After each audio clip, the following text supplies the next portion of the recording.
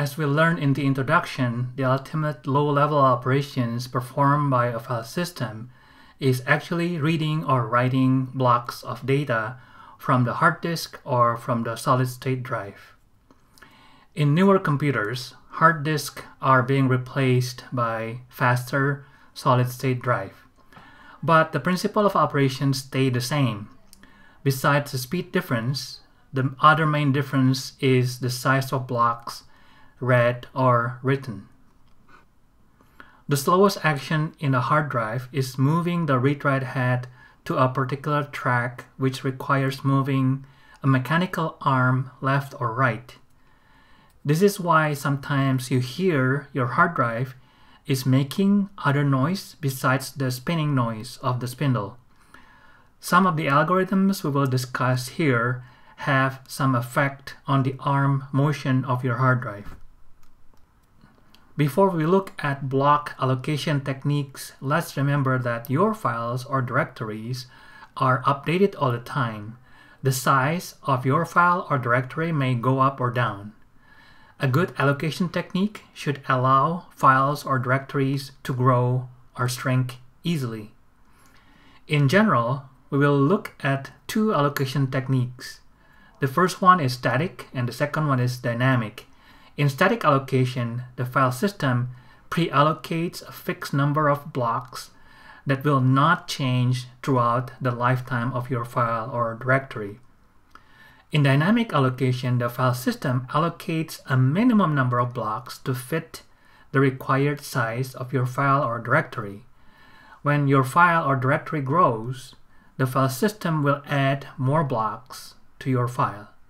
When they shrink, the disk blocks will be taken away from your file or directory.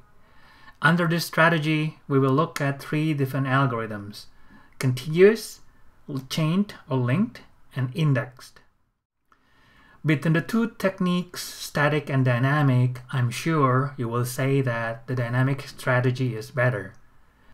The idea of splitting up disk space into uniform sized blocks should remind you of a similar technique in memory management where physical RAM is split up into uniform sized frames. In fact, you will see a few similar concepts applied in both space management.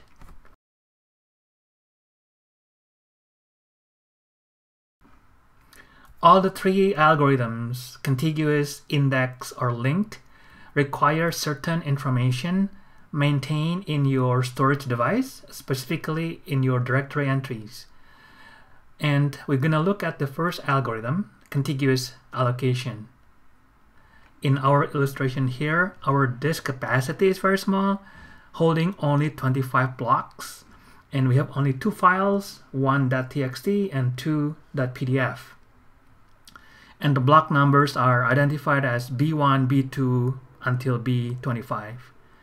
And in the diagram, the light green blocks are unused blocks, so they are essentially free blocks. So currently we have total of nine free blocks. And the orange blocks are allocated to 1.txt and the blue boxes are allocated to 2 PDF. So what kind of information we have to keep in our directory entry? For a contiguous allocation, we need to keep the file name and the starting block and the number of blocks. Or alternatively, instead of keeping the number of blocks, uh, you can also use the last block number. They are basically the same. So in our example, we have two files. The first file 1txt begins at block 3 and contiguously allocated 9 blocks, B3, B4, all the way to B11. So that's why you see the two numbers here. Number 3 tells us the first block, B3, and the allocation takes 9 contiguous blocks. Same thing for the second file, 2.pdf. The first block is uh, block 15, so block 15, and it is contiguously allocated 7 blocks, 15 all the way to 21. So one of the benefit of contiguous allocation is that it is easy or cheap to access any block in a file just by reading only the directory entry. So for instance, if you want to fetch the third block of 1.txt, just by reading the directory entry, we know that the third block of 1.txt must be block number 5, because the third block is two blocks away from the beginning of the file. So in contiguous allocation, random or direct access is very easy to implement. But now, how do we handle a file when it grows, when it needs more blocks?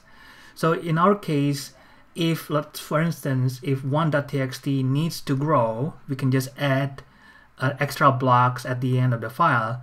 So in this case, we can handle the growth of 1.txt up to three more blocks.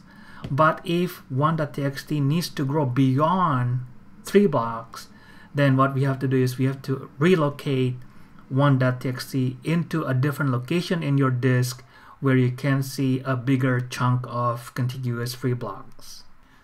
So another issue with contiguous allocation is fragmentation, something that we learn in memory management. So in this example, we see a total of nine free blocks, two blocks here, three blocks here, four blocks here but the largest contiguous free block is only four blocks contiguously. So that means if we have a file that requires five or more blocks, it is impossible to allocate the file into this disk unless we run some kind of defragmentation algorithm.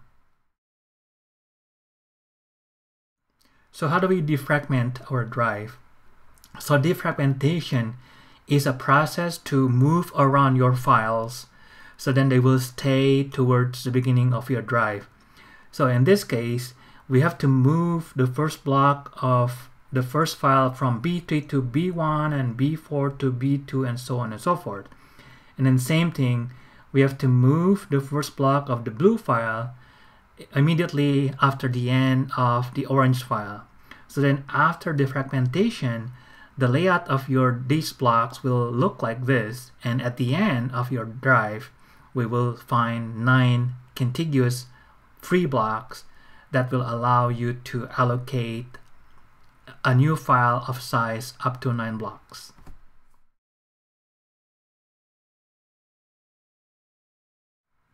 So after we learned about contiguous allocation, the next two allocation algorithms will allocate your files or directories non-contiguously. So one of the benefit of non-contiguous allocation, when your files or directories grow in size, you don't have to find a contiguous block in your disk. Just find a free block and then add that free block to your disk allocation. So the first of the two non-contiguous algorithms is the linked or chain allocation. How does it work? Essentially, we are building a linked list but instead of building a linked list on your RAM, we are building a linked list on your disk. So as with any linked list, we do have to keep a pointer to the next element, to the next element, to the next element. And we have to keep that pointer in our disk. To implement linked allocation, we must reserve a few bytes of each data block as a pointer to the next block and these bytes cannot be used for storing user data. If the disk uses a 32-bit address or a 4-byte address, then this pointer is a 4-byte pointer. If your disk uses a 64-bit address or 8-byte address, then the pointer is an 8-byte pointer. Remember in your data structure course, you learned that a linked list usually has two unique pointers the head pointer that points to the first element in the list and then the tail pointer that points to the last element in your list. The same technique is used in linked or chain file allocation. So in your directory entry, you will see the file name and the address of the first block and the address of the last block. So let's look at how we allocate blocks for the first file. Let's say 1.txt, the first file, begins with block 5, the next block is block 3, block 11, block 6, 10, and 2. So how does it look in your directory entry? So in the directory entry, the first number will tell you the first block of your file, and the second number will tell you the last block of your file. Now, how do we link the second block from the first block, the third block from the second block? That will require using part of your disk block as a pointer to the next block. So if we trace the blocks of our file, we're going to start with block number 5. So from here, we go to block 5, and part of block 5 will be used as a pointer to the next block, which is block 3, and that's why you see a pointer to block 3. And then the next block is block 11, that will be a pointer inside block 3 to block 11, and then a pointer from block 11 to block 6, and then a pointer from block 6 to block 10, and then from block 10 to block 2, and the pointer will end there because block 2 is the last block of our file. If we compare this allocation technique with contiguous allocation, with linked or chain allocation, random or direct access to a particular block is not possible unless you read the first few blocks of your file. So let's say if you want to fetch the fifth block of your file, then the first four blocks of that file must be fetched first because you have to follow the pointer to the next block to the next block until you hit block number 5 or the fifth block of your file. But it is easy to allocate a new block in case your files or directory needs more blocks. So let's say if I want to add one more block to 1.txt, what I have to do is just look for a free block anywhere in your disk and then update the last block of that file. In our case, we have to update block 2 so let's say we found block 17 to be the new block that will be added to 1.txt. And what we have to do is just then to update block 2 and update the pointer in that block to point to block 17 and then update the directory entry so that number is now 17. So storing the pointer to the next block in the data block itself raises an issue because now we learned that it is impossible to do direct or random access to a particular block without reading the first n-1 blocks of your file. The DOS and Windows FAT file system has a clever solution to solve this problem. Instead of storing one pointer in each data block, DOS FAT collects all the pointers into a separate block and the relative order of these pointers determines the logical order of your file. This page is an illustration of the FAT file system in DOS or Windows. There are three popular formats, FAT12, FAT16, and FAT32. The main difference between the three, in FAT12, 12-bit address is used, in FAT16, 16-bit address is used, and then in FAT32, 32-bit address is used. So the FAT, the file allocation table, is essentially an array allocated contiguously in the disk block itself. So FAT12, for instance, allocates 9 contiguous disk block to store the FAT, the file allocation table. For redundancy, DOS keeps two copies of the file allocation table. So a total of 18 blocks are reserved for the two copies. So with 9 blocks allocated to one FAT, and assuming a block size of 512 bytes, then a total of 4.5 kilobytes has to be allocated for one copy of FAT. Let's see how a file is allocated using the FAT table. So similar to linked allocation, the directory entry will keep the first block and the last block of your file. But now instead of pointing to a disk block in your drive, that number is now pointing to the FAT table in your drive. So let's use this example how 1.txt is allocated. So the first number that you see in your directory entry will take you to index 5 of the fat array and the number at index 5 will tell you that the next block is block 3. So if you follow that number, it will take you to that cell and the number in that cell will take you to block 11 and the number in that cell will take you to block number 6 and the number in that cell will take you to block 10 and the number in that cell will take you to number 2 and if you visit index 2 you will see minus 1 that will tell you the end of the file. So this is like null in your linked list. What is the benefit of compiling all the pointers into a fat array? Because the fat array is only a small size data structure. In our example the entire array in FAT12 is only 4.5 kilobytes so we can keep this array in your memory. And it is now possible to find, let's say, the fifth block of your file just by tracing these numbers inside an array in your memory. So direct access or random access to a particular block is now possible without reading through all the disk blocks in your drive.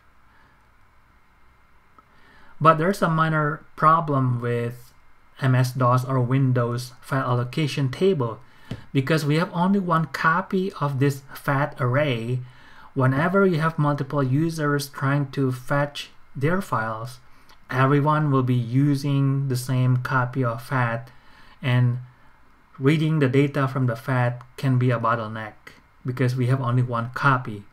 So then to avoid this issue, another idea is to split the index block into each file. This is where we will see a different technique indexed allocation algorithm.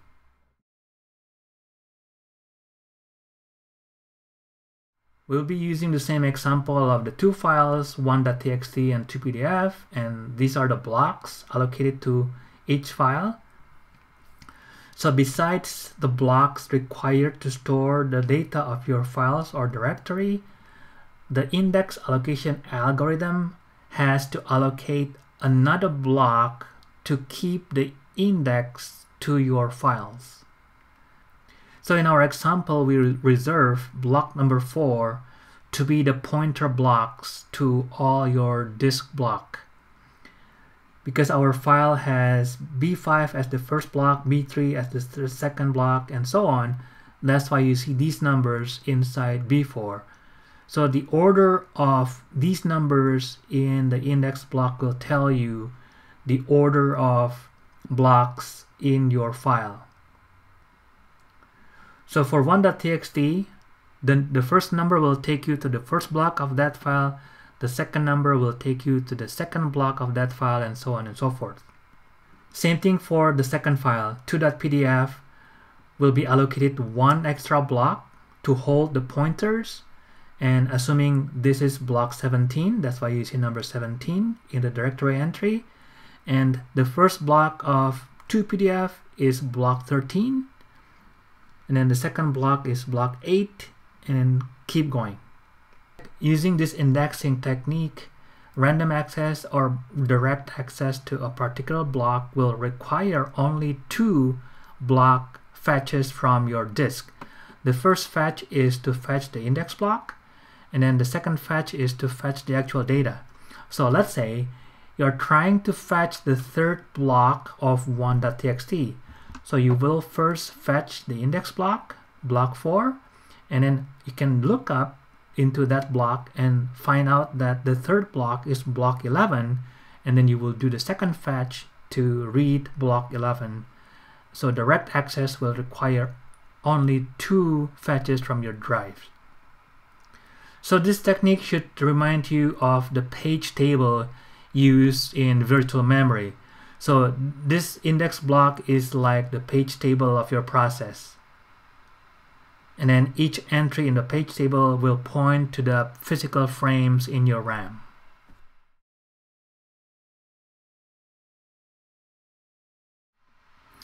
Index allocation has some limitations. One of the issues is the size of your file is limited by the number of pointers that can be fit into a single index block. So let's use these numbers as our example. We assume that each block is 512 bytes and each pointer is a 4 byte pointer or a 32 bit address. That means inside each block we can fit as many as 128 pointers. How do we get this number? The size of each block divided by the size of the pointer, 512 divided by 4 will give you 128. Then uh, 128 is 2 to the power of 7. What is the total capacity of your drive? Because we are using 32-bit pointer, that means you can see as many as 2 to the power of 32 blocks. And the size of each block is 512 or 2 to the power of 9 if we multiply the two numbers together, we're going to get 2 to the power of 41, which is equal to 2 terabytes. But what is the size? What is the maximum size of your file? Because we can have at most 128 pointers per index block. That means the file size will be limited by that number. So the maximum file size will be 2 to the power of 7, which is 128, multiplied by the size of each block. So if you multiply the two numbers together, you will get 2 to the power of 16, and that number is 64k bytes. So this will be the maximum size per file or per directory. How do we solve this problem? Well, to solve this issue, if you need a larger file, then you cannot use just one level of indexing. You have to use multiple level of indexing.